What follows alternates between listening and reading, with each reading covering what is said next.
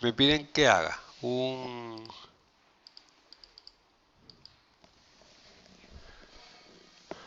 la distancia de un punto y una recta. Entonces lo que hago es un plano que contiene el punto y es perpendicular a la recta. Luego calculo el punto de corte.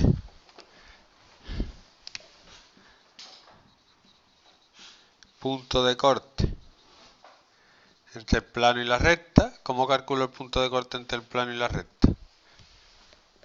Vamos a introducir un concepto nuevo que ha nombrado ante Alejandro, que es el del punto genérico. ¿Vale? Punto genérico de la recta es colocar esto, la X, la Y la Z de esta manera. Eso te da un punto genérico. Y para calcular el punto de corte lo que hago es meter este punto genérico en la ecuación del plano. Es decir, menos i sería menos 1 menos lambda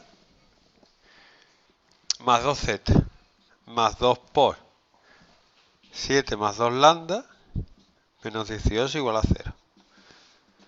¿Vale?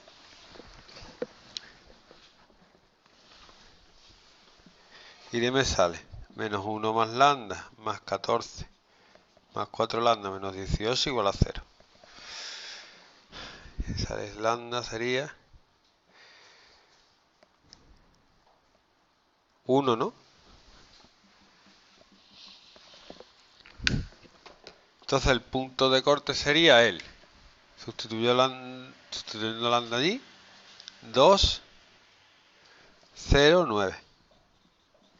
Y ya calculo la distancia 3. Es distancia entre el punto que he sacado y A, que es el punto que me da. ¿Cómo se calcula la distancia entre dos puntos? ¿Eh? ¿Cómo? ¿Cómo? Ya está, el módulo del vector, sería igual que Pitágoras, sería la raíz de 2 menos 8 al cuadrado más 0 menos 6 al cuadrado más 9 menos 2 al cuadrado. ¿Eh? ¿Cómo? Sí.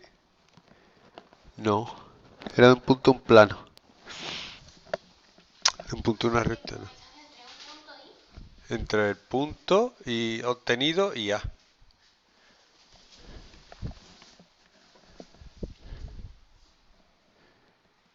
Sería... Creo que da raíz de 109. ¿Vale? Ya os digo que esto no, no hay una fórmula, hay que seguir un procedimiento, siempre. Siempre, siempre.